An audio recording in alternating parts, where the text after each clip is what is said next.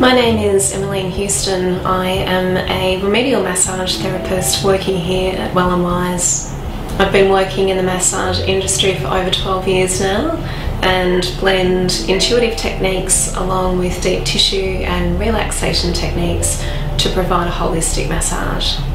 I use a blend of remedial massage techniques, trigger point therapy, and relaxation techniques in order to bring your body back into its natural state of relaxation. Massage tends to be a partnership, so any breathing that you can do and just being aware of letting go makes all the difference to the massage itself. It's really hard for your body to continue to hold on to tension as you're breathing out, so Breathing is a really important part of your massage treatment. You'll often hear me breathing as part of the process too.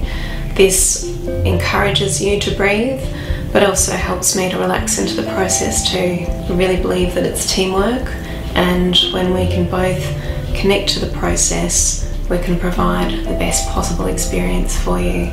I tend to work with the body's own process. So I don't try to force the body into relaxation. I want the body to open up and allow me to work to its level of relaxation.